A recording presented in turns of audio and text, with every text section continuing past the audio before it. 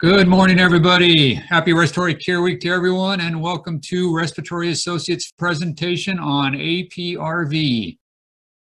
My name is Keith Farnes, and I've been producing live respiratory continuing education courses since 1996. My friend Joe Lewis, famous for his Respiratory Coach YouTube channel, will be presenting the topic this morning. It is approved by the ARC for one live CRCE credit hour. With that, I'm going to turn it over to Joe Lewis. Okay.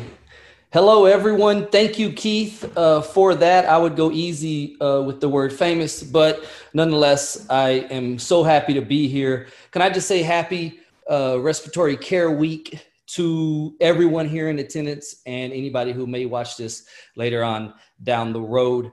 Um, there's no better way, in my opinion, to kick off Respiratory Care Week than by jumping into and learning something new.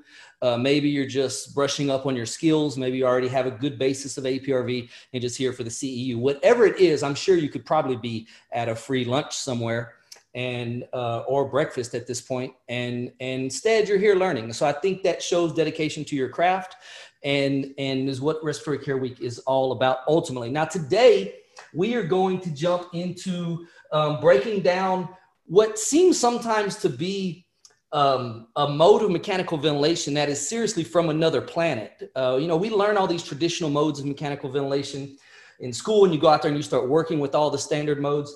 And then one day you walk in and you have a patient APRV, and you're completely shocked. What do I do? How do I operate this mode? I've only used it a couple or a handful of times, and and and that's okay because you have to work with it to get comfortable with it. Um, and today I hope to make it seem not so foreign, maybe turn it into a friend so that you feel more comfortable when using APRV. Got a handful of objectives here today. First of all, we're going to identify what APRV stands for. We're going to identify the key settings that you must know and know how to set. Uh, we're going to talk about uh, how APRV helps to improve gas exchange. And then we'll talk about a couple of different patient scenarios and how you will adjust APRV in, uh, in response to an arterial blood gas or, or a patient situation. Now, the first time, first thing when you get into understanding any mode, especially in the medical field, you know sometimes it seems like alphabet soup. It seems like, man, there's just so many acronyms. The first step is knowing what the acronyms stand for. And if you do that, then you're well on your way to understanding uh, what the mode does. So, for example, APRV stands for airway pressure release ventilation. Now, that may not mean much to you right now, but by the time we're done, I think those words will have a different meaning to you when you realize that we're dealing with airway pressures. They're going to release, and we're also going to have an aspect of ventilation that happens in the middle of all this happening. So, understanding what the acronyms mean, a lot of times will make things make sense to you. Um, okay, we're going to start with settings because I think that's one of the uh, first places you need to start with any mode of mechanical ventilation is understanding what do I need to set when I want to put a patient into APRV. Okay, now here's what you don't want to do. You don't want to go to a physician, say, um, hey, Dr. Jenkins, that's just a random name. Uh, we need to put this patient in APRV, or I think this patient would benefit from APRV. This is a this patient uh, criteria meets that of APRV. So so let's try. And the physician responds and says, "Fantastic. What settings would you like to use?" And then your response is, is well. I don't, I don't know the settings. I just had the idea of APRV. I thought you would know the settings. That's, that's not how you want this to go. You want to be able to go with a game plan suggest APRV, but then also show knowledge in suggesting that you know what you're going to set and how you're going to set it. So there's only four settings in APRV, and uh, they're really quite simple when you start breaking them down. The first one we see here is pressure high. Okay, so the pressure high is the first pressure that we're going to set, and pressure high is illustrated by this point right here. So you see where the pressure goes up during the inspiratory phase and it holds that pressure for a set amount of time. Now from pressure high, we're going to release to a pressure low. This is our second setting we're gonna set. You'll see your pressure low right here. So this is P low. So we go from P high to P low. Those are the two settings that you have to set. And then we have to tell the ventilator how long to hold each of these pressures. And that's all the vent's doing. So you go pressure high for how long. And we're going to call this time high. And then we drop to pressure low and we tell the vent how long to hold at that low pressure. This is where we see our time low down here.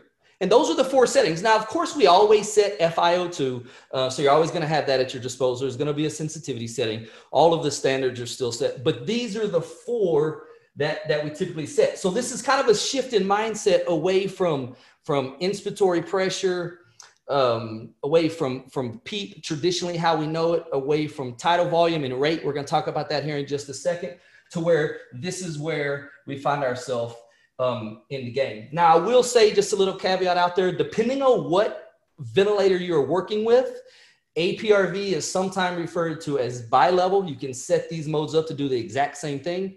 If you're working with the, the Puritan at 840 or the 980, then you might see yourself um, not setting a time high, but instead setting a respiratory rate. It's still going to give you all of these four settings at the end of the day. So, um, wh- so where do we set these? Now that we know what we're setting, where do we set them? So what we see here is that a common practice is for your P high to reflect your plateau pressure coming out of volume control. So typically you're in volume control, you know what your plateau pressure is. That's going to be a useful tool in knowing where to set your pressure high. Now, you're going to find out when we start to looking at and talk about the research here in just a little bit, you're going to see where there's not a whole lot of consistency in, in, in, in how people are setting what, but the vast majority are setting it based off of plateau pressure, while others are setting it based off of peak inspiratory pressure, and others are setting it based off of a desired tidal exhale tidal volume. So, but but the majority um, of people practicing with this mode are using plateau pressure as their target initial vent setting for the pressure high. Now, pressure low, this is the one that that really is kind of hard to grasp because we're going to set pressure low at zero typically. Now, you can set a minimum pressure you can set a pressure of five, a PEEP of five, a low pressure of five, a low pressure of eight. But typically, what we're seeing is that you set this low pressure to zero. And I'll explain why here in just a little bit. Your time high is typically going to range between four to six seconds, sometimes up to eight. And then your time low is going to be very, very small. This is typically in the ballpark of around a half a second, if not even less. Now, here's how you know where to set your time low. You set your time low, set to capture 50 to 75% of your peak expiratory flow. Let me say that again 50 to 75% of your peak expiratory flow, depending on the institution, pro- the protocol you're working with, and what kind of method you're going at. A lot of people are setting it at capturing at 75%, uh, but you're seeing others catching about 50%. Well, what does that mean? Capturing at 75% of peak expiratory flow. Let's go down here and look at our flow pattern here. This is inspiratory. Line comes that flow decelerates and then we hold and then you get a big exhalation period right here. This right here is your peak expiratory flow. You have to know what that number is. So let's just say that just to keep the math easy let's say that that number is 100 liters per minute is your peak expiratory flow. If you're wanting to trap at 75% of peak expiratory flow then what you're looking at is when does the, the flow decelerate to 75 liters? 75% of 100 liters would be 75 liters. So if this is 100 here and this is 75 liters per minute, then you want that time low to hold for the time it takes to decelerate from 100 to 75 liters per minute. And then the next breath is happening immediately. Okay, so that's what we refer to when we talk about time low being based off of peak expiratory flow. You have to know that number and then set it and adjust it accordingly. And you know, the interesting thing about this is as compliance changes, your peak expiratory flow will change. And so you see uh, some data that supports just arbitrarily setting uh, the, the time low at a constant and leaving it there throughout the entire, entire phase, where there's other strategies that include constantly daily assessing uh, compliance and assessing that peak expiratory flow because we know as lungs become more compliant, your peak expiratory flow will reduce. Stiff, non-compliant lungs are going to have a very quick, quick expiratory flow as they release. And so we can kind of see here where this kind of becomes a moving, a dynamic setting that stays to par with where your patient's peak expiratory flow is. Okay, so we didn't, one thing we didn't talk about, um, and I told you there's not, is because we don't set a respiratory rate. And I see this a lot. I see where you see patients in APRV and there's no uh, rate documented. And, and it's not that there's not a rate. What it is, is that your rate becomes a byproduct of your total cycle time. And as respiratory therapists, we know total cycle time. That's our gig, right? This is our jam. Total cycle time. So let's break this down and really look what's happening during these breath phases to understand what's happening during APRV. The breath phase begins right here. This is the beginning of the transition from P low to P high. And remember, we're going to hold up here for time high. We're holding at this pressure high. And then we drop to T low. The breath ends, the breath phase, if you think about it like a traditional breath phase, that breath phase ends there. Now, we know how long each of these phases are. We know we're holding at a time high of, let's just say, 5.5 seconds. And we know we're releasing and holding at a pressure low for 0.5 seconds. Let's just go with 0.5 seconds.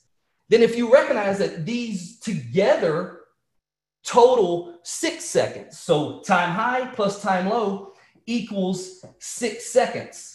And that is essentially our total cycle time.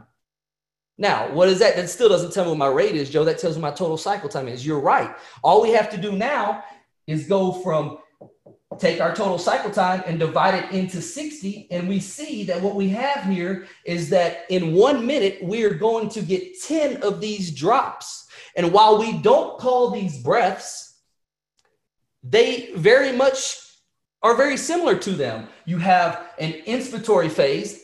Just because it's sometimes 10 times longer than your expiratory phase does not change the physiology of what's happening here. And then you have an expiratory phase, and together they create your total cycle time. Now, I told you if you were working with a different uh, different ventilators that you might actually set a rate. Let me show you how you would know um, what your time high is in that situation. If you see, in that situation, you know what your rate is, and you don't have to do this math here. But then you don't know what your time high is. You have to actually calculate your time high. So I'm going to do the same thing here. Let's say that we have a time low locked in at 0.5 seconds. And instead of setting our time high at 5.5 seconds, let's say instead we set a respiratory rate of 10 breaths per minute. Okay, Let's work with this. How do I figure out what my time high is? Well, if we know our rate is 10, then we can do the same thing we just did. 60 seconds divided by 10 breaths per minute gives me a total cycle time of six seconds. If I know that my time low is 0.5, then all I have to do is subtract 0.5 and I get my time high at 5.5 seconds. So you have to this this is this is I think a key component in, in understanding APRV is how this relates in, in when you're trying to manipulate things like time high or try to manipulate things like like rate. If we need to here in a little bit we'll talk about um, how to add more drops or reduce drops. This is going to be key in understanding how all of that plays together. Okay let's just shift gears here for a second because we've been talking a lot about settings and, and what those settings mean and, and, and how they how, how we set them. But we really still haven't talked about what happens during APRV. We still haven't gotten to the nuts and bolts of what's actually happening. So I'm going to break this down for you in four key points that if you remember these four key points, I promise you'll be set up for success when working with APRV. The first point, number one, is understanding that these long and high pressure holds for an extended time high, what they do is they increase mean airway pressure. So if you remember mean airway pressure, mean airway pressure is everything beneath the waveform, right? The pressure waveform. So all of this is mean airway pressure. If you compare that to a standard pressure waveform, you see here where we have a massive amount more mean airway pressure established here in APRV than what we do in more of our traditional modes of mechanical ventilation. Now, why is mean airway pressure important? That's the question. Why? Why do we care about mean airway pressure? Well, we care about mean airway pressure because we know that mean airway pressure helps to recruit atelectatic regions and atelectatic alveoli. If we can sustain a higher mean airway pressure, then we can utilize collateral ventilation. I remember that, right? Pores of Kohn, channels of Martin, canals of Lambert. We can utilize those collateral ventilation mechanisms to recruit and open up these atelectatic regions. In doing so, we increase FRC. We increase our functional residual capacity. And if you'll think about what that word means, you have a greater amount of functional alveoli. And that makes perfect sense. This is going to help us tremendously with oxygenation and making sure that our patients are oxygenating well. Now, the second point you want to remember falls, excuse me, in the drop right here. So, what's the purpose of the drops? How come we just can't hold it at the pressure high the entire time? Well, the drops serve a purpose for bulk CO2 removal running out of room here. This big old board, and I'm still running out of room. Bulk CO2 removal, okay? Which means that when you get this drop from pressure like that, what you see is you get a big exhaled volume that uh, gets rid of a lot of alveolar CO2. That's going to help us manage our blood gases, manage our carbon dioxide levels, which is going to affect our pHs. We know this. Uh, when we think about MAP, we're thinking more about oxygenation when we think about the drops, we're thinking more about bulk CO2 removal. Now, this is going to be very important to understand when you start thinking about how do I address or, or adjust these settings for a particular blood gas that I might have. Okay, well, let's talk about it here in, in, just a second. But I got two more points here to, to point out. So, one is mean airway pressure, two is bulk CO2 removal on the drops. Three brings us back to this point right here. Now, remember, we, we set this intentionally. We told the ventilator to start the next breath before all of the gas is exhaled. We're actually trapping 75%, depending on what, what, what method you're using, 50 to 75% of that peak expiratory flow. In trapping it there, what we're doing is we're intentionally creating auto PEEP. So this, this right here is point number three is intentional auto PEEP. Now, remember I told you back on the previous slides we were talking about settings that the P low is typically set at zero. Well, now you know why. Because while we're set at zero, you still never actually fall all the way back to zero. You wouldn't want that because that would be kind of counterproductive to all of the alveolar recruitment that's happening here and then you de-recruit. So you don't get full alveolar collapse because we are intentionally air trapping. We know that anytime the flow does not come back to baseline, then that tells us there's air trapping. Quick plug here for a November talk coming up here in a couple weeks over airway graphics. Well, I'll be talking more about air trapping when we don't want it. But for today, we're talking about APRV. Auto PEEP is something that we intentionally shoot for so that we don't get full alveolar, alveolar collapse during the pressure drops. And then the fourth point that you want to remember is that spontaneous breaths are allowed throughout all phases of the pressures whether pressure high or pressure low. Now, pressure low, you're usually there such a short amount of time that there's really not much time for spontaneous breathing. But it's still possible. So, what you see here is you can have breaths happening on top of the pressure high. The expiratory valve and inspiratory valve remain open throughout all of this phase, which allows for continuous spontaneous breathing by your patients. Now, this sounds like a good thing, right? We hear our patients spontaneously breathing, uh, reduce that, that, that diaphragmatic atrophy, and, and, and hopefully get them off the ventilator quicker because they have maintained this spontaneous breathing. These are the four elements of APRV. Remember, oxygenation happens with this big establishment of mean airway pressure. CO2 removal happens during the drops. We don't ever really get to the peak low of zero because we intentionally create a level of auto peep. And then four, spontaneous respirations are encouraged throughout all, all, all phases of the APRV.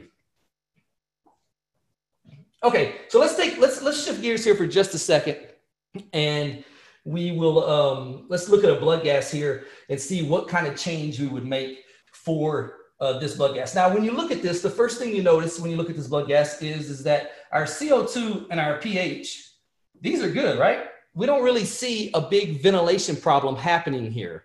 So, so the fact that we don't have a ventilation problem is a good thing, but we've got a problem right here.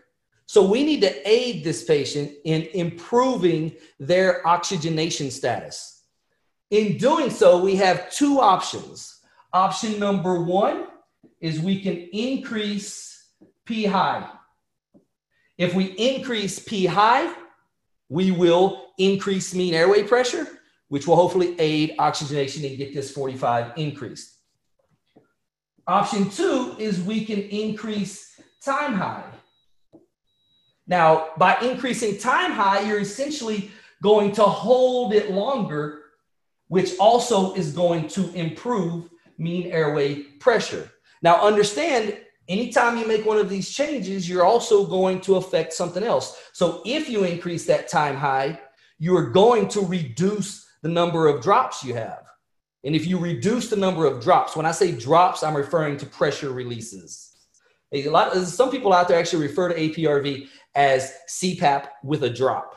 And, and so you kind of see that term being thrown out there during your drops. So if you increase time high, you reduce the number of drops. If you reduce the number of drops, then you reduce carbon dioxide removal responsible by the mode itself, which may affect this now, right? So just just keep in mind what changes might happen when you're making those changes. But these are going to be the two big ones to fix an oxygenation problem. Now, of course, you always have FiO2 at your disposal. So if you're if you're on you know 40%, then then there's no reason why you can't increase the FiO2 um, to help adjust or, or to correct the hypoxemia. But in terms of mode or settings inside of APRV, these are the two that you're going to look for for oxygenation issues. Now, if we if we take a step back and look at the opposite, here we see that our PaO2 is 75. And, and that's a good target, especially being that, that a lot of the data supports the use of this mode during um, ARDS and patients with severe shunts, severe oxygenation problems, where we're really targeting more like 55 to 80 millimeters of mercury rather than our normal 80 to 100. So we're okay with this. I'm not, this is not a problem for me. Uh, so oxygenation is good. What we do have a problem with is our ventilation right here. We've got a CO2 of 69 that is decreasing our arterial pH down to 7.24. We need to help this person get rid of more CO2. That's where we are now. We've got to help this person get rid of that. So, how do we do that? Option number one, again, is you can increase pressure high. Now, now this is may sound a little counterintuitive. We're like, wait a second, Joe, I thought that's what we did for oxygenation. Well, it is, um, but it also, when you increase pressure high, you also increase the gradient, which will lead to a greater amount of exhaled volume, which will lead to, to greater removal of CO2. But the better option, especially when you have an adequate O2, is by reducing time high. If we can reduce time high, what we will do is we will create more drops. So if you remember where we started with that example, we started with a time high of 5.5 seconds and we had a time low of 0.5 and this gave us a total time of six seconds, right? Which 60 divided by six gave us 10 drops per minute, 10 pressure releases. Okay, well, what happens if we reduce our time high by one second? So let's take it down to 4.5 seconds. Now your time low remains constant, remember, because that is set based off of peak expiratory flow. So if you're ever trying to fix CO2, you're you're you're you're you start messing with the time low, you're going to mess up that intentional auto PEEP that we uh, are desiring in this situation. So 0.5 remains our time low, and now we have a total cycle time of five seconds. Well, 60 seconds divided by five seconds equals 12 pressure releases a minute. So you can see just by reducing the time high by one second, we have created two more drops that are going to allow for more CO2 removal. And hopefully we can fix this arterial blood gas that's going on uh, that needs to be addressed here with this patient. So that's how we're gonna that's how we're gonna adjust it based off of off of blood gases. Remember, if you're looking for oxygenation, you're thinking mean airway pressure. If you're looking for ventilation, trying to find a way to get more drops. Now, here's the thing about APRV, and one of the reasons I think it's such a challenging mode is because there's so many different approaches to it, and there's so many, so much uh, varying data on it. It doesn't seem like anybody really agrees on it. So what we're going to do here, just here real quick, is just look at some of the elements of what the research data says about APRV. So this is a combination of of uh, four or five meta-analyses looking at APRV. Um, most of them are all related to ARDS. And, and what the first question is, and we'll kind of make this kind of interactive if you want to. If you have the um, ability to uh, comment down there in, in the comment section, I'm just going to ask you some questions. You tell me what you think. So the first one here is peak inspiratory pressure. What do you think the data shows when related to peak inspiratory pressure?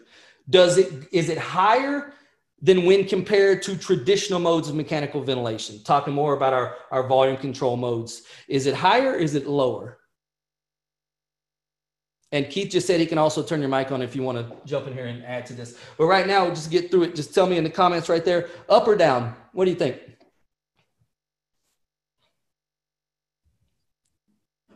I know we're not this shy. Down. All right, down, down, down. All right, so we get a couple downs, and down is exactly the correct answer. This research shows overall you see a reduction in peak airway pressures. Now, what about mean airway pressure? What do you think here? This is a gimme, right? We've already talked about this. So when we think about mean airway pressure in APRV, 100% we see that it goes up. Now, if you just think, if we take just a second and we look at this, if, if you look at a traditional mode of mechanical ventilation with a pressure such as this, right? And let's say this peak inspiratory pressure was, I don't know, let's just say 32. And when you consider everything underneath here, let's say you have a map, um, a, um, a mean airway pressure of, let's say 16. Okay, just just just picking numbers. That's a feasible scenario. You got a peep of five, got a peep of eight, you got your peak inspiratory pressures hitting 32, and all of these pressures together average out to about 16. Well, look at the gap here. What do we have to do to get that map up? When we look at APRV, like we've been doing, we see that all of this happens, right? And so, and because we're only there, only at the pressure low for such a short amount of time, we may have a P high set of 30 and your map may be 26, 27. You can see how they're very much closer together than what's happening up here. And that's one of the benefits of APRV is the bringing together, being able to establish that mean airway pressure without having to suffer on the peak side of it. So, so, uh, so absolutely peak pressure goes down, overall mean pressure increases. What about PF ratio? What do we think? Does it go up? Does it increase? Or does it go down when compared to traditional modes? So I see some, I see some comments here, up, up, up, up, up. Yeah. So this is very interesting because I just sold you on the value of mean airway pressure and how it aids in oxygenation. There are some studies that did reveal that PF ratio increases. Now, the common denominator by this was that this was in early application of APRV. So, a lot of times what we see is we're maxed out on everything else, and then it's like, oh, let's try APRV. Well, that's that's probably not the best time to try it. What they found was that early application of APRV did indeed increase PF ratio. But to be fair to the data, there's also data out there that shows no statistical difference in relationship to PF ratio. Now, this is interesting to me, but what you find is when you uh, take into account the limitations of these trials, you find that what are we comparing it to? If you compare APRV to somebody with a PEEP of five, and and 80% FiO2, an extreme example, but just to make a point here, then surely we're going to see an increase in PF ratio. But if you're comparing it to traditional modes of mechanical ventilation, where you're on 60% and a PEEP of 18, well, in that situation, you may not see that statistical difference be as big, and there may not be a big improvement in your PF ratio in that arena. So, so that's where limitations come in to where, yeah, in theory, it seems like it should always increase PF ratio, but depends on what you're comparing it to. Sometimes reveals no values. What about hemodynamics? So we're going to talk about mean arterial pressure. Do you think APRV causes mean arterial pressure to decrease or does it cause mean arterial pressure to increase higher than compared to uh, traditional modes of mechanical ventilation? What do you think? Getting a little harder here. I see that. Up or down, up or down. Well, the truth is, is that if you remember some of the hazards of mechanical ventilation, you definitely know that decreased venous return is a, a, a hazard associated with mechanical ventilation. So, in theory, you think about that mean airway pressure um, as it increases and it becomes higher, you think to yourself, that's got to be squeezing on the great vessels. That's got to be causing a decrease in venous return. And therefore, mean arterial pressure would have to decrease. Like this has to go down, right? Well, this actually it doesn't. The truth is, is that mean arterial pressure actually shows an improvement with APRV. And the reason that is, is because remember what's happening on top of that pressure high. Those patients are breathing spontaneously. Every time that patient's diaphragm drops, you get a negative pull intrathoracically. And what that does is actually improves and promotes and enhances cardiac blood flow through that drop in intrathoracic pressure. So when you're in APRV with a patient breathing spontaneously, you 100% see overall an improvement in your mean arterial blood pressure. I thought that was interesting. I like that. I like that aspect of it. What about barotrauma? You think a patient with APRV is more likely to to um, suffer from a pneumothorax or or or ventilator induced lung injury? So I've got one down. No, no, no. Good. The answer is there's no data. There's no statistical difference. There's data. There's just no statistical difference. There is is is the data that is there says that when compared to traditional modes of mechanical ventilation, that the risk for ventilator induced lung injury and uh, pneumothorax or equivalent. Now, let me clarify that did not mean that it doesn't happen and it doesn't exist. It just means that it, it, it, it was the incidences, the rate of incidence for barotrauma was equivalent to that of traditional modes of mechanical ventilation. Um, what about ICU length of stay compared to traditional modes? You think these patients are in the hospital um, longer or in the ICU longer or shorter? What do we think? You got a patient on APRV. On average, is that person going to be in the ICU longer or shorter? Shorter, shorter, shorter. That's exactly right. We actually see where ICU length of stay decreases. Now, this is related to several things. First of all, when you have patients who are allowed to remain spontaneously breathing, um, that's first of all. So you have diaphragmatic movement throughout the entire mechanical ventilation phase. That's going to lead to quicker extubation. They show a higher success rate with extubations, fewer tracheostomies, and and and fewer hazards when extubating. Now, um, that's one study that showed that. Now, there's other ones there that say, eh, the static, the, the, the numbers are about the same. I don't really see much. But there was a significant reduction in at least one meta analysis that was up to like 36% reduction in ICU length of stay. Now, for me, my mind automatically goes like this if we're using less sedation and we're getting them off the vent quicker, then we have fewer vent days, we have fewer ICU days, then we obviously have a reduction in total hospital length of stay. However, that's not what it shows. There was no change in hospital length of stay. Now, again, I don't know what happens after we get out of the ICU and get to the, the general care unit, but there was no statistical difference. So it's this is interesting to me, and I hope you find it interesting that that there's data that supports we can get them off the vent quicker, but and out of the ICU quicker, but not so much out of the hospital quicker. And so probably more more uh, research coming along that. What about 28 day mortality? Increased or decreased?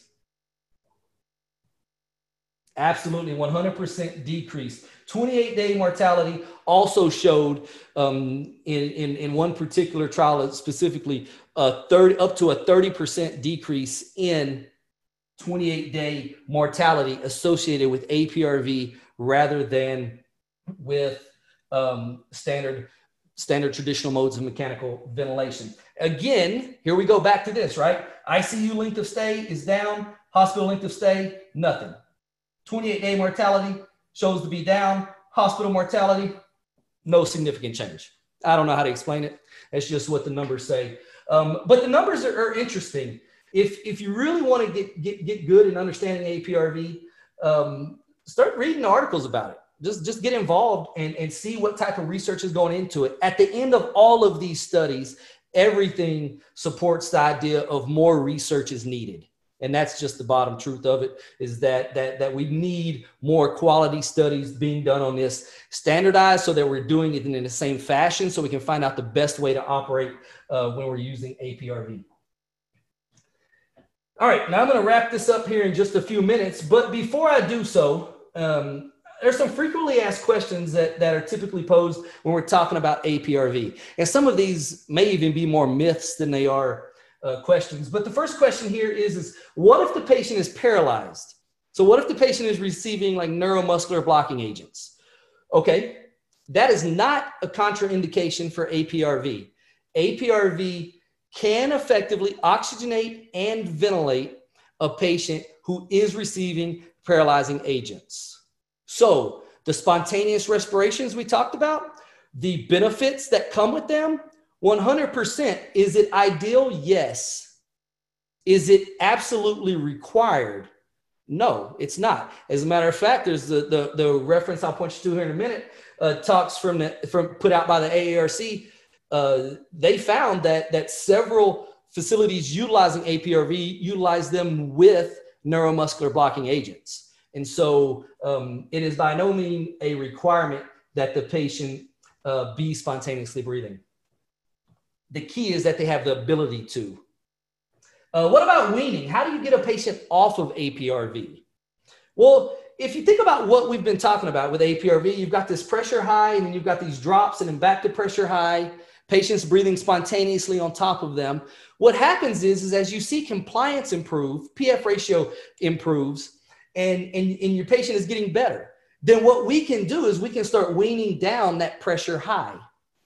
As the patient more effectively starts to remove more of their own CO2, by their improving condition, then we can also start getting rid of the pressure releases. So essentially, if you think about it like this, we have a patient getting something like this, APRV right here, right? Well, all we have to do is if we can eliminate, as the patient gets better, we eliminate that drop, and guess what we see? Now we get that. And the patient is still breathing right here on top of this pressure high. As we bring this pressure high down, what we see is that it essentially turns into CPAP. You have no more drops and you have your pressure high, then now you're just going to go into CPAP and you're going to wean and continue the weaning process from there. So the patient spontaneously breathing allows you to manipulate the pressure high and the time high to basically eliminate the drops until the patient is ready to go to CPAP and then extubate. There is no data or research that supports this idea that you have to go from APRV back into a volume control mode before you can start the weaning process. Okay, that's just simply false. Uh, let's talk about this right real quick. What about driving pressure? So we know that driving pressure is a hot topic. a lot of people focusing on and, and, and, and looking and monitoring driving pressure now because driving pressure has been uh, uh, shown to be associated with uh, mortality and, and ventilator induced lung injuries uh, and things like that, right? The problem with it, with APRV, is, is that when you think about driving pressure, we know that driving pressure is plateau minus PEEP. That's the formula for it. That's how you calculate it. Okay. It's plateau minus PEEP. Well, the problem is where's our plateau and what's our PEEP? The argument is, is well, you can just say P high minus P low. And if your P low is zero, then whatever your P high is, that is your driving pressure. That's not true. This pressure high does not represent a true traditional plateau pressure, like what we know to be a plateau pressure in volume control. The reason it's not is for a couple reasons. First of all, we are setting the pressure high. So so you dialing that pressure high in, you are now establishing the plateau pressure. It's not something that you're assessing or is resulting from what you're seeing after you do an inspiratory hold after a given tidal volume. So, so the, the, the difference between these two do not accurately reflect driving pressure. Also, remember your patient in most cases is breathing spontaneously on top of pressure high. To get an accurate plateau pressure, you must have a, a static diaphragm to where you can see the actual pressure of the alveoli at rest. So that's really hard to do on top of that pressure high when you've got that patient breathing spontaneously. And then the last reason why it's really hard to assess driving pressure is because when we go to this pressure low, remember we're creating this element of intentional auto PEEP. But what we know about auto PEEP in this sense is that is that yeah, we can look at this and go, okay, well, our peak actually, we don't ever get to zero. We actually drop to six of water pressure. So we'll just use that. Well, even that isn't an accurate reflection of, of, of equal regional alveolar volume. Because what we know is that during the expiratory phase, areas that are compromised, areas that possess that are that have that have a lower compliance than other areas of the lungs, those regions are going to empty much quicker than your more compliant regions of your lungs. And so while you're trapping and creating this auto PEEP, you really can't use that in the term of how we calculate driving pressure. And so um, what the AARC says about driving pressure in APRV is that it's very problematic the idea that you're shifting your focus to mean airway pressure and really off of the tidal volume delivered um, kind of shifts the focus away from uh, tidal volume and and and and therefore becomes problematic for the driving pressure discussion um, so so that's what we talk about we think about driving pressure and the challenges that come with it in aprv and then what about COVID 19? Everybody wants to know about COVID 19, right? What does the research show about how uh, COVID 19 uh, responds to APRV? Good or bad? What do you think? Put it in the chat there. Do you think the results uh, show a good response or a bad response? Good with a question mark. Good, good, good, good. Everybody's saying good. Ah, the answer is false. The answer is that it's not good, which is weird because you think we in our minds we wrap kind of COVID nineteen into this a into this ARDS ball, and we're thinking, oh, we've got all this information about APRV that shows positive outcomes for ARDS. So surely it would show the same for COVID 19. It actually showed the opposite. It actually showed the mortality rate in the APRV group was much higher than the standard traditional mode of mechanical ventilation in comparison to COVID when you're talking about patients with COVID 19. Can't make sense of it, but that's just what the data shows.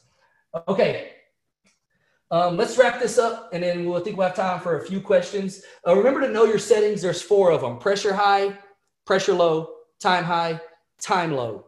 Remember those four settings. Remember, pressure high starts around uh, at or estimated at your plateau pressure. Pressure low oftentimes is set to zero. Time high is going to be based anywhere from four to six seconds to establish that minute ventilation. And then time low is based off of that 50 to 75% of that peak expiratory flow, depending on your institution's protocol. Four key points to understanding APRV mean airway pressure, is established and that helps us recruit more functional alveoli and should help us oxygenate our patients better. The pressure releases serve the purpose of, of bulk CO2 removal so that we can help the patient rid themselves of CO2 and help us establish a good pH. Uh, number three is the intentional auto PEEP. Remember, we are doing that intentionally so we don't reach full alveolar collapse by going all the way back down to zero. And then point four was your patients allowed to spontaneously breathe during both phases of this breath. Remember, the focus here is on mean airway pressure. That is the magic that is, uh, in theory, helps to establish better oxygenation. If you have to get rid of more CO2, remember, you need to create more drops. Do that by decreasing your time high, and that will create more drops and help you get rid of more CO2. And then I just want to leave you with this the evidence out there is um, is there and and I and I encourage you to go out and become a, a student of your craft and a studier of the evidence because that's where the new stuff is coming from. So it's interesting that APRV uh, thought con- was conceived in 1986, and here we are in 2021 talking about it sometimes like it's a completely foreign mode of mechanical ventilation. So stay up to date on the research. Uh, here's the copy of my references that I've referenced throughout this presentation. If you would like a copy of these references, uh, feel free to reach out to me. You know where to find me. You can find me on Instagram at Respiratory Coach, YouTube at Respiratory Coach, Twitter at Coach RRT. Can you believe somebody snagged Respiratory Coach on Twitter? And then Gmail, you can email me anytime at respiratorycoach at gmail.com. Something exciting taking place right here. Uh, this is my new texting platform where uh, you get to join a community where once, twice a week, I send out sometimes motivational, inspirational, or educational content. You get it right there on your phone. Don't call this number; it's not a phone. It's just a it's just a texting uh, number. Okay, but feel free to join that. You can just send me a text right now, and uh, we'll get you involved with that. Other than that, I am right on time and I have time for a few questions. So um, if you want to throw, uh, what do you want to do, Keith? You want to turn the, allow them to turn their mics on? Anyone wants their mic turned on, all you have to do is chat us, say, please turn my mic on, or just type in your question into the chat feature and we'll answer it. But this is the time for a question and answers. Anybody have any questions for Joe here?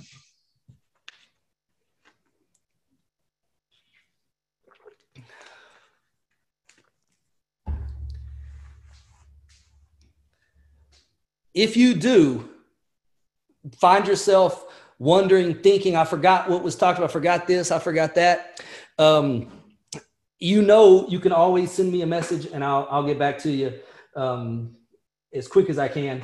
But, but I'm here to, to, to help you understand these concepts and, and, and help these things make sense so that we're all better clinicians. Oh, we have a question, I think. Okay. Uh, When weaning, we adjust P high accordingly. How do we approach T high? Yeah, so let me go back a slide here. Actually, I'll just come over here. So if you think about it, like like you said, you're going to you're going to reduce this pressure high. So the pressure high is going to get nixed, and you're going to start reducing this. And this is based off of your patient's oxygenation status. So you're seeing, you're watching your patient, your PF ratio is improving. You're looking at it. You've got, you know, good gas exchange happening. You're like, okay, let's start to wean this. So you're definitely going to start bringing the pressure down. Now, as you're watching the patient breathe and assessing their own spontaneous tidal volumes, you will get to a point to where the patient doesn't need 10 drops every minute. So you take this is kind of what I was saying a minute ago is where you eliminate these drops. You do that by making your time high greater. I think that's the question. If you increase your time high, you will see that your drops start getting eliminated. So, like kind of like that example I used a minute ago, if you're at 5.5 time high and 0.5 time low, you got a total six seconds. That's 10 drops per minute. Okay. Well, now let's take our let's take our our time high and let's turn it up to let's just go 6.5 seconds plus 0.5. Now we have a total cycle time of seven seconds, right? I'm good at math, but not that good. So now we see here where we have 60 divided by 7, this is going to give us. That's not right. Yes, six, yeah, eight and a half drops. Because here we were getting 10 drops. So we were getting 10 drops. We raised the time high. Now we get fewer drops.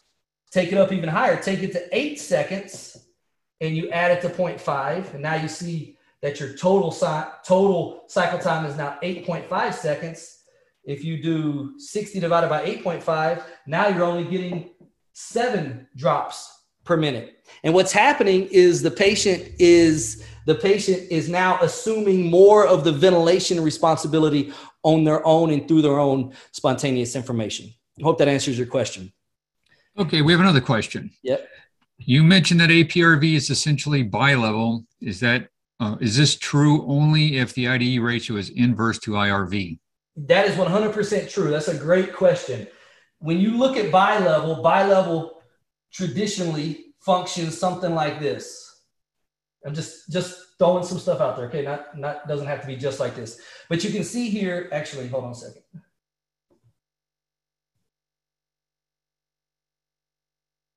So what I'm trying to do here is create like a one to one. In bi-level, the patient can breathe also on top of both of these, these pressures. And so if you're utilizing a, a mechanical ventilator that, that operates with bi-level, you just have to learn how to lock your time low. And you just, you basically do exactly what you said. You create this crazy high uh, inverse IDE ratio that, that sometimes is 10 to 1. So you just turn it to where your pressure high is holding much longer then you're dropping down and you have your time low set and you're spending one time, one half a second here and then rising right back up and going 5.5 seconds. You can do the same thing in APRV with, with a mode that, that uses APRV traditionally. You can make it operate like bi-level. Just make your IDE ratio not so drastically inverse, and you'll basically be in bi-level where the patient can breathe spontaneously on top of pressure high and on top of pressure low exactly right. But the key feature of APRV is the very short pressure low, right back up to the pressure high with that um, with that in, in, in extremely inverse I to E ratio. That's a good question. Okay, we have two more questions.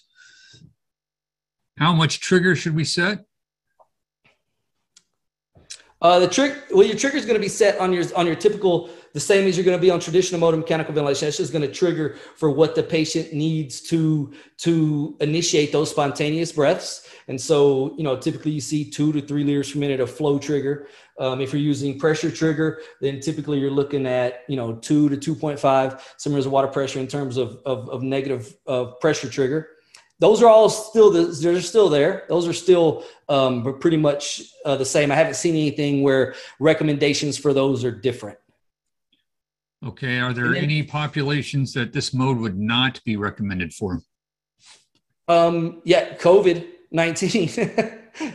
uh, I, I, wouldn't I wouldn't put the stamp on it like no, but uh, the data has shown where uh, it does not have a successful uh, track record with COVID nineteen there's basically when you think about this mode, you're thinking about your patient population where you're looking at uh, oxygenation problems. So you have your your chronic hypercapnic patient that comes in um, with a, a high CO2 or the COPD or that's extremely acidotic and it's a pure, you know, you got a ventilation problem. I wouldn't be thinking um, APRV. The unilateral disease processes, um, you know we don't necessarily i guess it depends on on more specifics in that but from what i'm seeing i haven't seen anything where it says absolutely no do not use on this patient. I've seen no contraindicated populations. I do want to go back real quick keith to that one question uh, how do we chart peep and i time on ventilator charting? Uh, i think this is actually an element that needs to be talked to um, with your administration to see if you can get aprv charting in there.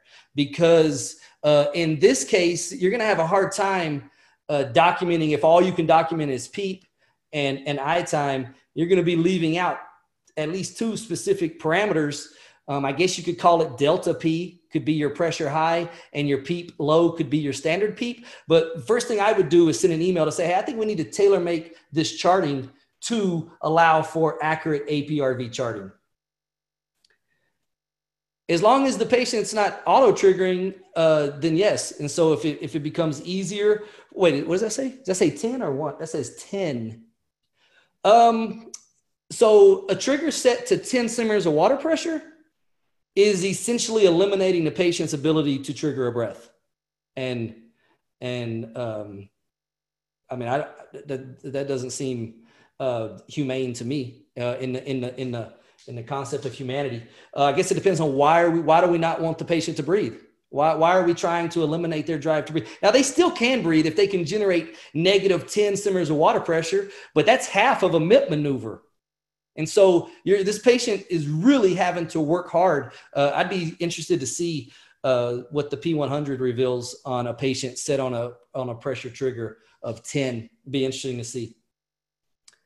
All right. Any questions? Any other questions? Those are good questions. Thank you, everybody, for for for putting them up there and and participating. All right, we're at the end of time. Is there any last questions before we uh, let you guys go? All right, everybody, my friend Joe Lewis. Oh, by the way, I would like to mention we do have a course on our website called COVID 19 Part 2. If you had taken that course, you'd have known the answers to some of Joe's questions here about APRV and COVID. Yes, Joe rocks.